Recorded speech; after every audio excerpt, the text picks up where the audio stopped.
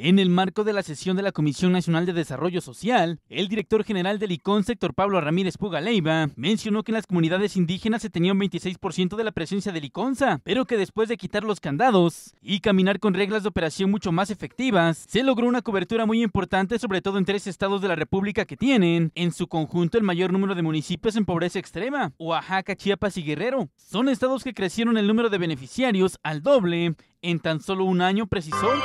en las comunidades indígenas, en donde solamente un 26% de la presencia de liconza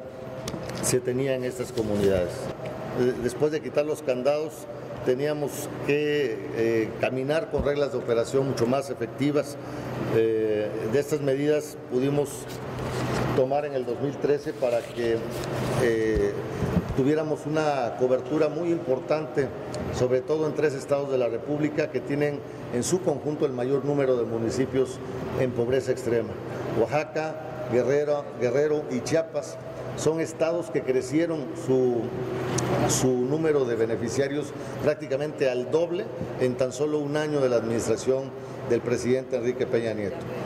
Hay que recordar que el PNUD reconoce en México 614 municipios con menor índice de desarrollo humano en el país. Ya estamos atendiendo 300, esto es el 48% del número de municipios que reconoce el PNUD en esta condición. Ya estamos atendiéndolo a través de la leche liconza. El gobernador Alejandro Murat determinó el poner el peso que faltaba para que la leche en los municipios de Oaxaca se distribuya de manera gratuita. En Oaxaca eh, de los 300 municipios que tenemos con menor índice de desarrollo humano en el país y que estamos atendiendo con esa estrategia, en Oaxaca hay 161 de esos 300.